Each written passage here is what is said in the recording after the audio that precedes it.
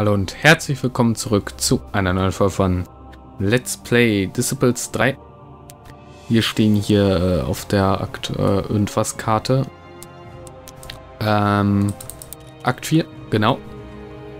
Und ja, bekämpfen hier weiterhin irgendwelche Dämonen und anderes Kropfzeugs. Also das übliche. So, einmal hier hinten irgendwie rein.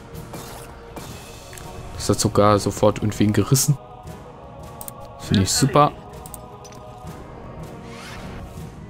So, der Fette setzt sich in Bewegung und sein elfischer Brigant darf das erste Mal ziehen und zeigen, was er drauf hat.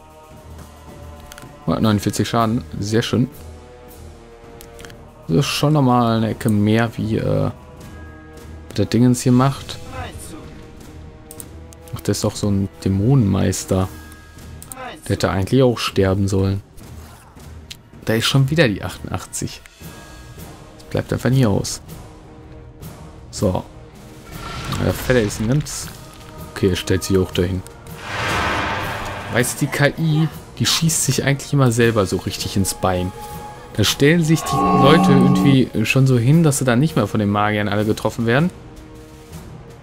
Und dann kommen halt diese ganzen Vollhorsts und äh, stellen sie dann so hin, dass sie doch wieder alle getroffen werden. So wie in dem Fall der Magier, was sein Todesurteil war. Pech gehabt. So. Ähm, auf den Onyx Gargoyle. Aha. Ich weiß nicht, ich mag die Stimme von ihm so richtig gerne. Aber der hat 40 Rüstung. Die vier sind richtig gut. Meiner Meinung nach. Aber wenn sie einen kritischen Treffer abbekommen, dann sehen sie natürlich rot. Im wahrsten Sinne des Wortes sind die auch rot. 98, das macht uns doch nichts. Da teilen wir locker weg. So. Aufschlitzen. Ich hab gesagt, aufschlitzen. So, und dann einmal den töten. Das heißt, du kannst mal hier die Verteidigung durchbrechen. Ich habe zwar jetzt überhaupt nicht gesehen, wie viel Schaden er gemacht hat, aber auch egal. So. Löscht ihn aus. Bitte. Müsstet ja jetzt danach auch direkt irgendwie aufsteigen. Ja. Die Stimme so cool von denen. Das ist eine der wenigen Ausnahmen, wo die deutsche Stimme tiefer ist wie die englische Stimme. Also zumindest bei den Elfen. Und irgendwo bewegen sich weiter in diese Kackdämonen. Das gefällt mir nicht. So, einmal in den Turm hier rein. Das kann man auch mal eben schnell auf automatischen Kampf machen. So, kein Problem. Plus 30 auf Gewandtheit. Das darf doch gerne einer unserer Briganten bekommen. So, der hier, der macht jetzt 185 Schaden. Sehr schön. Halt! Ach so. Und das Wirtshaus, nee, das nehme ich jetzt nicht. Dann wäre nämlich der Geschicklichkeitsbuff von den einem weg. Das ist mir im Moment ehrlich gesagt ein bisschen wichtiger. Oh, Arian braucht noch Jahre zum Aufsteigen, leider. So, einmal hier rein. Das hat gut Schaden gemacht. Ja, ja, ja. Das sagen sie alle. So. Ja, für wen auch immer. Schlitz. So, einer ist tot. So, wo kannst du jetzt mal richtig gut zeigen, was du drauf hast? Am Beliach, äh, Baliach. 45 Euro. Doch, du machst jetzt kritischen Treffer, beeindruckst mich richtig. Es ging nur leider ein wenig schief. So, den tötest du jetzt auch direkt. Ist vielleicht ein wenig verschwendet, aber macht ja nichts. So. Kobold ist natürlich so freundlich und stellt sich auch nochmal so hin, dass er gleich mitgetroffen wird. Ach, die sind also so vorausschauend. So, der stirbt. Dann der Balear. Der darf leiden. So. 175, kann ich mal wenig. Du kratzt auch den hier an. Du äh, beendest mal die Sache für den Kobold. Nein, ach so natürlich nicht. Sag mal. Nee, du, du bist das. Ach, du bist das gar nicht. Wer ist das denn? Ach, der letzte ist das. Ach so, okay. Ich habe schon gefragt. Irgendwie macht er überhaupt gar nicht keine kritischen Treffer und irgendwie auch nicht mehr Schaden. Was ist denn da los? So. Das ist hier... Ja. So. Du hier bei den Balearen. 277. Sehr schön. So, Heilung, Heilung, Heilung. So, Arian darf schlitzen. Und dann war es das hier auch. Sehr schön. Stadtkirche. Komme ich nicht hin. Boah, wie viele Armeen haben die denn bitte? Ich ahne Böses für meine Wächterknuten. Äh, so. Wie lange hält unsere Regeneration noch eine Runde, weil dann pappe ich mir direkt eine neue drauf, bevor ich das vergesse. So. Ein Troll. Und anderes Kropfzeug. So, machen wir jetzt mal eben fertig. Ja, jetzt bist du dran. Wie wunderherrlich. So. Na, schade, dass der nicht da hinten drauf kommt. Wäre natürlich noch die Creme à la Creme. So, einmal hier.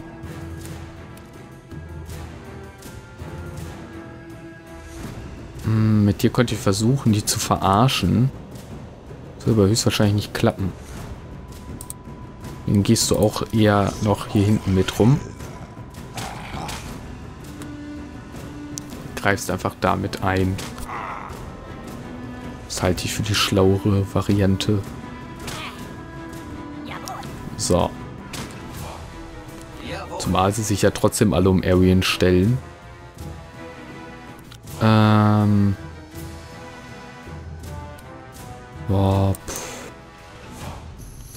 Schaltet mal den Ohrkäuptling aus. Das wäre irgendwie eine gute Idee. Würde der das Zeitliche segnen?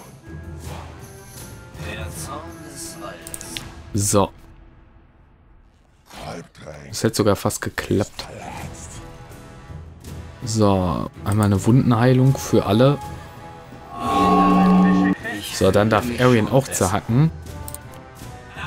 Hm, ich habe jetzt mit Arian etwas unglücklich zerhackt. Ja, dann eben so. Dann hier. Der Wolf hat sich angenähert.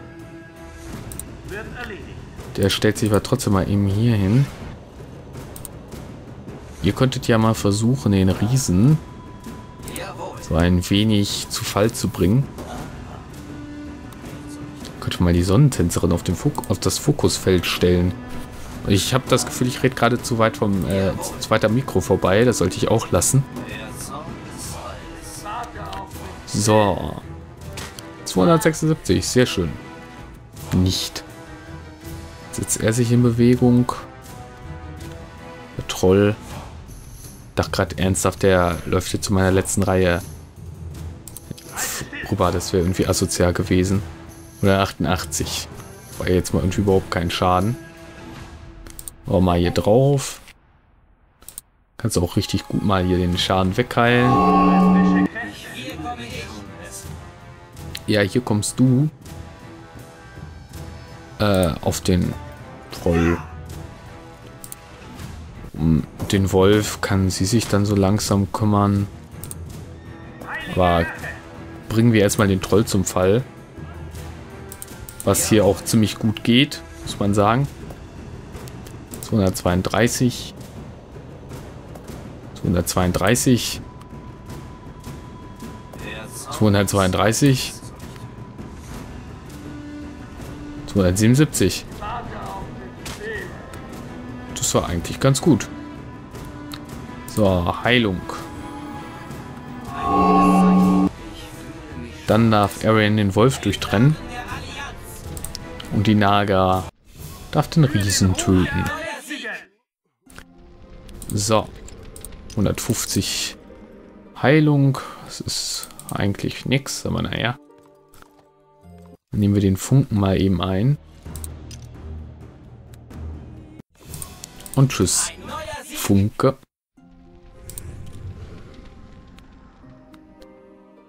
So.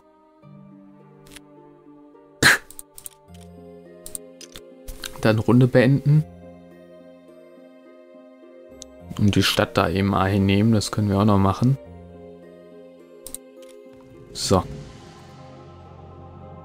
Unsere Stadt jetzt. Und weiter hier runter. Grundlos irgendwelche Säcke liegen. Ich sehe, das Drachen hier ist plus 35 auf Feuerresistenz. Braucht Arrayn jetzt im Moment gar nicht. Teil der Umgebung. Trolle und grüner Drache.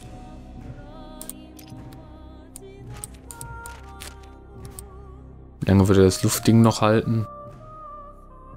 Neun Runden. Hat auch irgendwie Magieresistenz. Ach, ich habe eine allgemeine aufgesammelt. Okay.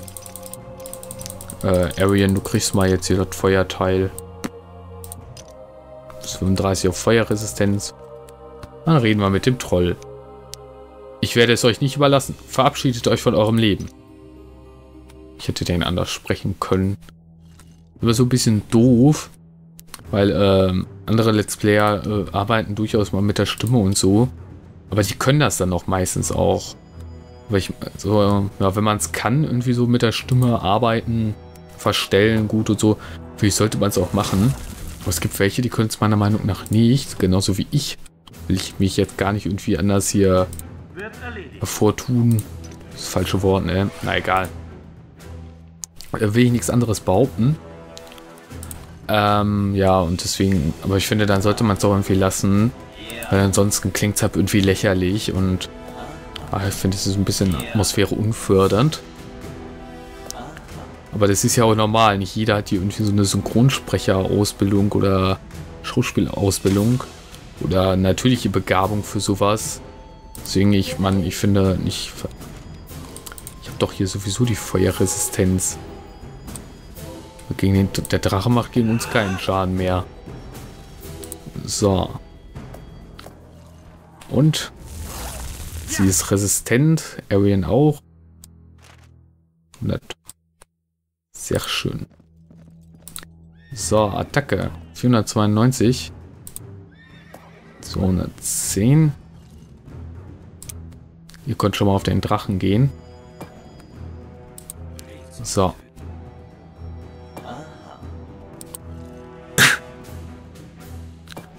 Nein, das hat den... Mhm. Das hat leider den... Äh, na, was mache ich denn jetzt? Oh, ist der halb tot. Das hat jetzt leider den Geschicklichkeitsbuff überschrieben. Na, ein bisschen ärgerlich, weil der halb ziemlich nützlich ist, dieser Buff. Aber naja. Ich finde das doof, dass der als Verteidigungsbuff gilt, dieser Geschicklichkeitsbuff. Weil eigentlich ist das ja ein offensiver. Aber naja. Steht ja auch eigentlich Pulver der Gewandtheit drauf. Also eigentlich sollte das ja überhaupt keine Geschicklichkeit... Nee, Quatsch, heißt Pulver der Genauigkeit steht nur in der deutschen Übersetzung, dass es plus 30 Gewandtheit geben würde. Haben sich da einfach wieder vertan. Mit Agility und Dexterity. Ich denke mal, so heißt das im Original. Haben sie sich dann wieder mal vertan. Ist ja nichts Übliches, äh, nichts Neues. so. Also der Drache hier, den haben wir jetzt leicht diskriminiert. Das ist einfach das ist brutal, dass er so wenig Schaden macht. Jetzt verfehlen natürlich alle, weil das immer so ist bei dem letzten... Ey, sag mal. Das ist ja jetzt wohl hier wieder Verarsche. Geht doch. Ist denn jetzt aufgestiegen? Ach, wir werden wieder weggeportet. So. Ja, altes Manuskript, Questgegenstand. Ach, die schwarze Nager ist mal aufgestiegen. Ich weiß allerdings ihre Grundwerte nicht, deswegen weiß ich nicht, was sich bei ihr verbessert hat. Der Verdammten. Zieht mal wieder. Bei denen ist irgendwas aufgestiegen scheinbar, da finde ich auch nicht so toll. So, wo ist denn der Typ, der ist hier unten? Dann lauf da mal hin. Ich hätte den Brunnen mitnehmen können. Der zweite Teil, großartig. Hört zu. Seine Ideen wurden von seinem ersten Engel Betrezén ins Leben gerufen, aber Betrezén schufen Evendar nicht alleine. Andere Engel halfen ihm dabei. Die ersten, die kamen, waren Gallian und Soloniel. Gallian erschuf Wälder und Elfen, Soloniel erschuf die Meere und das Meeresvolk. Dann kam Wotan und erschuf Berge und Zwerge, die dort ihre Gänge gruben. Und viele andere Engel bevölkerten Nevendar später mit ihren eigenen Schöpfungen. Vielen Dank, ehrenhafter Hüter. Zeig mir bitte, wo sich der dritte Teil des Manuskripts befindet. Weißt du, der klingt so nach irgendwas total Bekannten halt, wie bei uns irgendwie die Entstehungsgeschichte in der Bibel, ne? Und für so einen Scheiß hier müssen wir da so totale Hardcore-Gegner in Anführungszeichen besiegen, damit wir, äh, ja, damit wir hier Dingens, ich habe schon wieder den Faden verloren, weil ich hier gucke, oh, äh, Ring der Wut. Den kaufe ich glaube sogar mal so. Gebe ich dir Hexenperlen. Normalen Ring. Dann kaufe ich mir den. Und wie hat das nichts gebracht, weil der Ring das Doppelte gekostet hat von dem, was da stand. Ärgerlich. So, aber er macht 20 Schaden mehr. Das ist schon, ähm, ist schon gut. So. Ne, die hebe ich mir auf jeden Fall für eine andere Runde auf. So. Ähm, ja, weiter runter. Muss mich muss mal wieder gerade im Sitz zurechtrücken. War das ein richtiger Satz? Nö, eigentlich nicht. So, ich finde irgendwie Akt 4 einfach nicht so richtig spannend. Da kommt irgendwie, keine Ahnung. Komm, das mache ich jetzt auf automatisch. wenn da ein Troll ist. Ich glaube, diese Ork-Kämpfe, die werde ich nicht mehr, äh, wenn ist aufgestiegen, die werde ich wohl höchstwahrscheinlich nicht mehr mit euch zusammen machen. Weil, äh, äh, drei Kampagnen, die andauernd irgendwie zu machen, das geht ihm schon irgendwann auf die Nerven. Ich finde, es reicht doch mittlerweile. Wenn die in der Story vorkommen, mache ich die noch, aber ansonsten setze ich einfach darauf, dass das halb, ja, dass diese Regeneration ein bisschen diesen, dieses Manko ausgleicht. Von der irgendwie natürlich schlechten Platzierung meiner Einheiten. Und ja, hoffe, dass das dann so geht. Wenn Arian jetzt natürlich wieder derbe Schaden bekommt. Was natürlich wieder daran liegt, dass sie sich neben den Fokuspunkt gestellt haben. Trank des klaren Denkens, sehr schön. Das ist einfach, ich würde nicht mehr glücklich werden, würde ich äh, irgendwie eine gewisse Art Fernkampf. Das heißt, er macht mit Intelligenz überhaupt keinen Schaden. Kriegt die Sonnentänzerin das. Eine Angriffsstärke von 150. Was ich äh, sehr beeindruckend finde. Problem ist, dass halt nur geguckt wird, offensiver Buff oder äh, ein defensiver Buff, Magie-Buff und nicht geguckt wird, ob das wirklich dieselben Buffs sind, weil so ist er schon ein bisschen doof. Dass dann halt, wenn du dann so ein Stärke-Ding aufsammelst, die Intelligenz von einem Magier weg ist, obwohl er von der Stärke überhaupt nicht profitiert. Ist irgendwie total dumm. Das ist 35 auf Verteidigung. Sollte ich jetzt nicht unbedingt Arian geben, aber dem, dem Dingens kann ich das geben. Dem Heiligen Rächer kann das durchaus gebrauchen. Imperiale Assassine. Den Kampf mal jetzt auch auf automatisch. Weiß nicht, das ist einfach nicht so spannend. Finde ich jetzt, dass man da jetzt immer so zugucken muss. So, Ähm, ich glaube, wir können jetzt den Nachttänzer kaufen. Unterschlupf. Sehr schön. Jetzt müssen wir nur noch die Erfahrungspunkte von denen so hochgeballert bekommen, dass wir auch äh, wirklich welche kriegen. Also es ist ja Herausforderung 2, überhaupt die Nachttänzer zu bekommen. Weshalb sind, das war ja auch das Problem bei äh, den Modeen in, äh, in Dingens. In der Legionskampagne. Man hat die einfach nicht bekommen, weil die so hohe Erfahrung brauchten. Da man auf normal, gut, das verändert sich ja auch noch auf den Schwierigkeitsgraden, dass man weniger Erfahrung kriegt. Und da man auf normal so unglaublich, äh, was heißt, halt weniger Erfahrung bekommt, bekommt man die auf normal meistens halt auch dann nicht. Nee, hier geht's von der Story weiter, ne? Dann gehe ich erstmal da unten lang. So.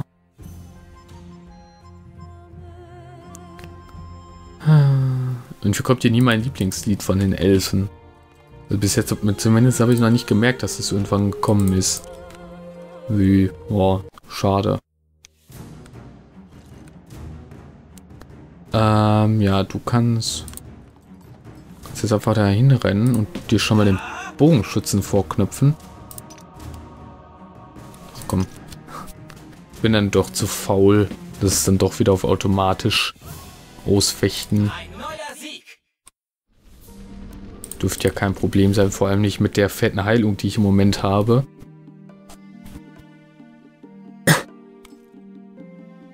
So. Imperialer Ritter, die Stadt erobern wir noch. Und die Legionen ziehen hier auch wie wild. Und bis jetzt bin ich noch keinen Legionsleuten in die Arme gelaufen. So viel steht es eigentlich? Die haben die Hälfte der Erfahrung ungefähr, die sie brauchen für den Nachttänzer. So, greif mal an. Ziemlich viel Schaden. Und Attacke hier rein. So. Dann... Ja. Gott. Sie sind so stark. Ich weiß nicht, was ich machen soll. Ich werde sterben. Hilfe. War die nicht eigentlich in der Stadt drin, die Armee? Sah so aus, als wäre die in der Stadt drin gewesen. Ähm... Ja, nuschel du irgendwas vor dir her. Sowieso kein Mensch versteht. So. Der kann ruhig angreifen, das interessiert mich relativ wenig. Äh, Heilung 150. Das heißt, die Flächenangriffe sind noch uneffizienter von denen, als sie sowieso schon sind. So, einmal den hier auseinander pflücken. So. Eine ist schon mal tot. Du kannst hier äh, auch mal dafür sorgen, dass einer tot umfällt. Machst du sogar, sehr schön. So. Müsstet jetzt eigentlich relativ gut alle aus den Latschen hauen. Dich hätte ich auf den Fokuspunkt stellen können, dann hättest du vielleicht sogar den hier töten können. Oh, das schafft aber auch so einer. Dann bin ich ja beruhigt. Der auch nochmal down. Sehr schön. So, Stadt erobert. Da kann ich jetzt... Wir können, ja, ich weiß nicht, ob Ausrüstungsstände auch, die ich kaufe, auch mit übernommen werden. Eh. Ich kann mal ganz viel... Hm. Bringt halt nicht so viel. So, da kann ich mir eh nicht leisten, die Sachen kaufe jetzt einfach mal ganz häufig guter Schuss. Ich bekomme für die zwar dann nur 50 Gold, aber hey, oder 75 Gold werde ich für die bekommen. Das ist dann etwas was ich am Anfang der nächsten Runde verkaufen kann. Und ja, die Anfang der nächsten, beziehungsweise Anfang der nächsten Kampagne. Aber den werden wir jetzt, ich sage mal Kampagne nächsten Aktes. Aber auch den werden wir nicht diese Folge erleben, denn diese Folge ist vorbei. Und ich sage Tschüss, bis zum nächsten Mal, wenn es wieder als Let's Play Disciples 3. Bis dahin, macht's gut.